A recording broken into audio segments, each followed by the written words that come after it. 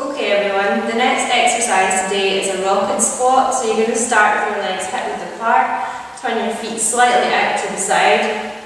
So we're going to be putting our arms out, weight onto your heels. You're going to come down a little bit, down a little bit more, and then fully down, and then you're going to drive up into jump. So it's down, two, three, power up, down, two, three, up, two, three, up. So I'll show side on. Legs hip width apart, arms out. So as you come down, it's weight on your heels, down with a nice flat back, down, down to parallel, and then drive up. Down, two, three, up. And that's the rocket squat.